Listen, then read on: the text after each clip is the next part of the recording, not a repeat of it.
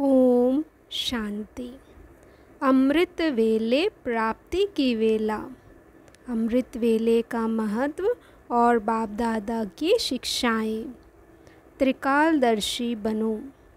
सदा अमृत वेले से लेकर रात तक के कार्य, चाहे लौकिक, चाहे अलौकिक, सब कार्य सहज और सफल हो।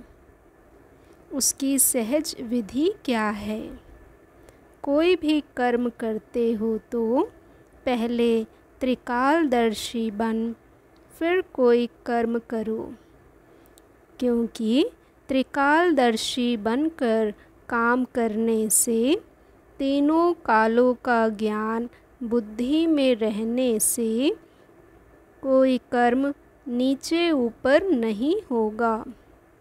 वैसे भी ज्ञान का अर्थ ही है जो आगे पीछे सोच समझकर कर्म करे।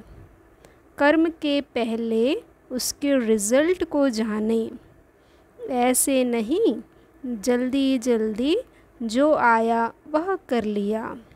उसमें सफलता नहीं होती। पहले परिणाम को सोचो, फिर कर्म करो।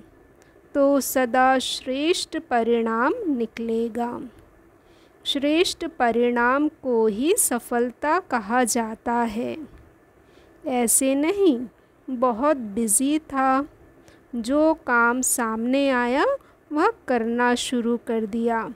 नहीं, जैसे बाप दादा ने श्रीमत दी है कि भोजन करने के पहले भोग लगाओ। पीछे खाओ। भोग लगाने का कर्म अगर नहीं करते और जल्दी जल्दी में खा लिया तो परिणाम क्या होगा? याद भूलने से जो ब्रह्मा भोजन का, अन्न का मन पर प्रभाव पड़ना चाहिए, वह नहीं होगा। एक तो प्रभाव नहीं पड़ेगा और दूसरा बाप की श्रीमत ना मानने का नुकसान होगा। क्योंकि अवज्ञा हो गई ना, उसका भी उल्टा फल मिलना है। अगर कर्म करने से पहले यह आदत पड़ जाएगी, पहले तीनों काल सोचना है।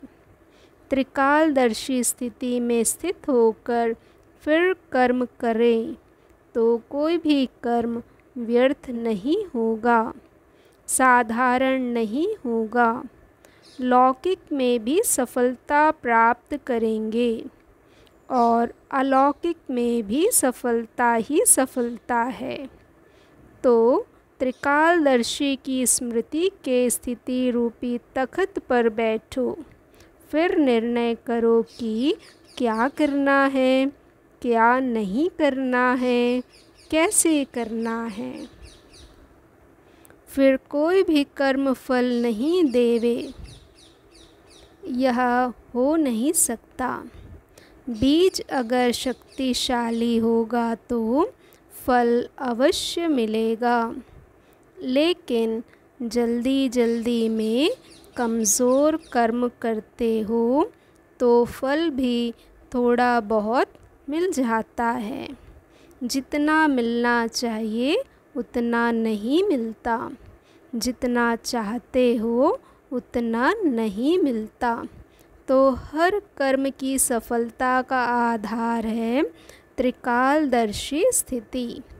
ऐसे नहीं, सिर्फ़ याद रखो कि मास्टर त्रिकालदर्शी हूँ और कर्म करने के समय भूल जाओ। इसे यूज़ करना। इस आधार में कभी भी अलबेले नहीं बनो। यह अभ्यास करो, क्योंकि 21 जन्मों के लिए जमा करना है। एक जन्म में इक्कीस जन्म का जमा करना है तो कितना अटेंशन देना पड़ेगा? टेंशन नहीं। लेकिन सदा अटेंशन रखो। अलबेलेपन का अब परिवर्तन करो। दाता दे रहा है तो पूरा लो। देने वाला दे और लेने वाला थोड़ा लेकर खुश हो जाए तो रिज़ल्ट क्या होगी? फिर नहीं मिलेगा, इसलिए पूरा अटेंशन दो। आत्मा के लिए टाइम टेबल बनाओ। आज समर्थ बाप अपने चारों ओर के मास्टर समर्थ बच्चों को देख रहे हैं। एक है सदा समर्थ, दूसरे हैं कभी समर्थ, कभी व्यर्थ की तरफ़ ना चाहते भी आकर्षित हो जाते। लेकिन जहाँ समर्थ स्थिति है वहाँ व्यर्थ हो नहीं सकता। संकल्प भी व्यर्थ नहीं, उत्पन्न हो सकता। बाप दादा देख रहे थे कि कई बच्चों की अब तक भी बाप के आगे फरियाद है कि कभी कभी व्यर्थ संकल्प याद के फरियाद में बदल देते हैं। चाहते नहीं हैं लेकिन आ जाते हैं। विकल्पों की स्टेज को तो मेजॉरिटी ने मेजॉरिटी समय तक समाप्त कर लिया है। लेकिन व्यर्थ देखना, व्यर्थ सुनना और सोचना, व्यर्थ समय गंवाना, इसमें फुल पास नहीं है।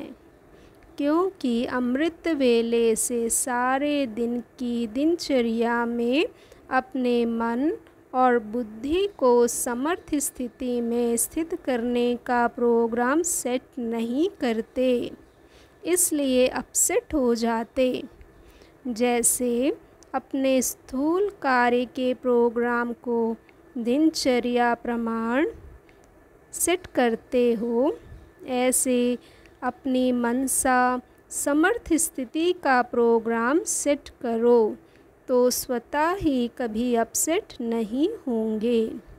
जितना अपने मन को समर्थ संकल्पों में बिज़ी रखेंगे तो मन को अपसेट होने का समय नहीं मिलेगा। आजकल की दुनिया में बड़ी पोजीशन वाले, जिन्हों को आईपी या वीआईपी कहते हैं वह सदा अपने कार्य की दिनचर्या को समय प्रमाण सेट करते हैं। तो आप कौन हो? वह भले वीआईपी हैं, लेकिन सारे विश्व में ईश्वरीय संतान के नाते, ब्राह्मण जीवन के नाते आप कितने भी वी आगे लगा दो तो भी कम है। क्योंकि आपके आधार पर विश्व परिवर्तन होता है। आप विश्व के नव निर्माण के आधार मूर्त हो। बेहद के ड्रामा के अंदर हीरो एक्टर हो और हीरे तुल्य जीवन वाले हो। तो कितने बड़े हुए। यह शुद्ध नशा समर्थ बनाता है। और देह अभिमान का नशा नीचे ले आता है।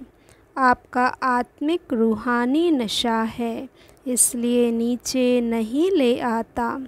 सदा ऊँची उड़ती कला की ओर ले जाता है तो व्यर्थ की तरफ़ आकर्षित होने का कारण है, अपने मन बुद्धि की दिनचर्या सेट नहीं करते हो। मन को बिज़ी रखने की कला संपूर्ण रीति से सदा यूज़ नहीं करते हो। दूसरी बात बाप दादा ने अमृत वेले से लेकर रात के सोने तक मनसा, वाचा, कर्मणा और संबंध संपर्क में कैसे चलना है व रहना है। सबके लिए श्रीमत अर्थात आज्ञा दी हुई है। एक छोटी अवज्ञा, अमृत वेले का नियम, आधा पालन करते हो। उठकर बैठ तो जाते हो, लेकिन जैसे बाप की आज्ञा है, उस विधि से सिद्धि को प्राप्त करते हो। शक्तिशाली स्थिति होती है। उठकर बैठ तो जाते हो। लेकिन जैसे बाप की आज्ञा है, उस विधि से सिद्धि को प्राप्त करते हो, शक्तिशाली स्थिति होती है, बाबा पूछ रहे हैं। स्वीट साइलेंस के साथ साथ निद्रा की साइलेंस भी मिक्स हो जाती है। बाप दादा, अगर हर एक को अपने सप्ताह की टीवी दिखाएँ तो बहुत मज़ा देखने में आएगा। तो आधी आज्ञा मानते हो। नेमिनाथ बनते हो, लेकिन सिद्धि स्वरूप नहीं बनते हो। इसको क्या कहेंगे? ऐसी छोटी छोटी आज्ञाएँ हैं। जैसे आज्ञा है किसी भी आत्मा को ना दुख दो, ना दुख लो। इसमें भी दुख देते नहीं हो, लेकिन ले लेते हो ना। व्यर्थ संकल्प चलने का कारण ही यह है। व्यर्थ देख लिया, सुन लिया तो दुखी हुए। सुनी हुई बात ना चाहते भी मन में चलती है। यह क्यों कहा? यह क्यों कहा? यह ठीक नहीं कहा। यह नहीं होना चाहिए। व्यर्थ सुनने, देखने की आदत मन को तिरसठ जन्मों से है। इसलिए अभी भी उस तरफ़ आकर्षित हो जाते हो। छोटी छोटी अवज्ञाएँ मन को भारी बना देती है और भारी होने के कारण ऊँची स्थिति की तरफ़ उड़ नहीं सकते। यह बहुत गुह्य गति है। जैसे पिछले जन्मों के पाप कर्म बोझ के कारण आत्मा को उड़ने नहीं देते, ऐसे इस जन्म की छोटी छोटी अवज्ञाओं का बोझ जैसे स्थिति चाहते हो, वह अनुभव करने नहीं देती। आप हर एक अमृत वेले से ही अपना टाइम टेबल बनाओ कि आज के दिन क्या क्या करना है। जैसे शारीरिक कार्य का टाइम टेबल बना है, वैसे आत्मा के उन्नति का भी टाइम टेबल बनाओ। समझा? इसमें अटेंशन और चेकिंग कम है। अब ऐसा टाइम टेबल बनाओ। अमृत वेले अपने पुरुषार्थ की उन्नति का प्लान सेट करना है कि आज किस विषय पर व किस कमज़ोरी पर विशेष अटेंशन देकर इसकी परसेंटेज बढ़ावें। हर एक अपनी हिम्मत के अनुसार वह प्लान बुद्धि में रखें कि आज के दिन में क्या प्रैक्टिकल में लगाएँगे और कितनी परसेंटेज तक इस बात को पुरुषार्थ में लाएँगे। अपनी दिनचर्या के साथ यह सेट करो और फिर रात को यह चेक करो कि अपनी सेट की हुई पॉइंट को कहाँ तक प्रैक्टिकल में और कितनी परसेंटेज तक धारण कर सके? यदि नहीं कर सके तो उसका कारण? और किया तो किस किस विशेष युक्ति से अपने में उन्नति का अनुभव किया? यह दोनों रिज़ल्ट सामने लानी चाहिए। और अगर देखते हो कि जो आज का लक्ष्य रखा था, उसमें उतनी सफलता नहीं हुई। व जितना प्लान बनाया, उतना प्रैक्टिकल नहीं हो पाया तो उसको छोड़ नहीं देना चाहिए। हर कर्म में अपनी स्टेज शक्तिशाली है या नहीं, यह चेक करो। स्वयं पावरफुल बनो। उसके लिए अमृत वेले से लेकर हर कर्म में अपनी स्टेज शक्तिशाली है या नहीं, उसकी चेकिंग के ऊपर और थोड़ा विशेष अटेंशन दो। दूसरों की सेवा में या सेवा के प्लान में बिज़ी होने से अपनी स्थिति में कहाँ कहाँ हल्कापन आ जाता है। इसलिए यह वातावरण शक्तिशाली नहीं होता। सेवा होती है, लेकिन वातावरण शक्तिशाली नहीं होता है। इसके लिए अपने ऊपर विशेष अटेंशन रखना पड़े। कर्म और योग। कर्म के साथ शक्तिशाली स्टेज। इस बैलेंस की थोड़ी कमी है। सिर्फ़ सेवा में बिज़ी होने के कारण स्व की स्थिति शक्तिशाली नहीं रहती। जितना समय सेवा में देते हो, जितना तन, मन, धन सेवा में लगाते हो, उसी प्रमाण एक का लाख गुना जो मिलना चाहिए वह नहीं मिलता। इसका कारण है कर्म और योग का बैलेंस नहीं है।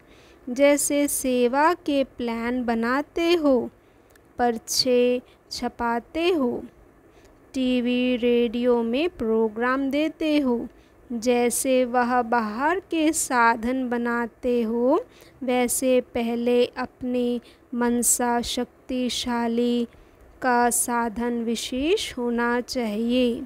यह अटेंशन कम है। फिर कह देते हो, बिज़ी रहे, इसलिए थोड़ा सा मिस हो गया। फिर डबल फ़ायदा नहीं हो सकता। दुआएँ दो और दुआएँ लो। दुआएँ किसको मिलती है? जो संतुष्ट रहे, सबको संतुष्ट करें। जहाँ संतुष्टता होती, वहाँ दुआएँ होंगी। और कुछ भी नहीं आता हो, कोई बात नहीं। भाषण नहीं करना आता, कोई बात नहीं। सर्व गुण धारण करने में मेहनत लगती हो, सर्व शक्तियों को कंट्रोल करने में मेहनत लगती हो, उसको भी छोड़ दो। लेकिन एक बात यह धारण करो, दुआएँ सबको देनी हैं और दुआएँ लेनी हैं। इसमें कोई मेहनत नहीं करनी पड़ेगी। करके देखो, एक दिन अमृत वेले से लेकर रात तक यही कार्य करो। दुआएँ देनी है, दुआएँ लेनी है। फिर रात को चार्ट चेक करो। सहज पुरुषार्थ रहा या मेहनत रही? और कुछ भी नहीं करो, लेकिन दुआएँ दो और दुआएँ लो। इसमें सब आ जाएगा। दिव्य गुण शक्तियाँ आपे ही आ जाएँगी। कोई आपको दुख दे तो भी आपको दुआएँ देनी हैं। तो सहन शक्ति सामना, सामने की शक्ति स्वतः आ जाएगी। ओम शांति। शुक्रिया बाबा, शुक्रिया।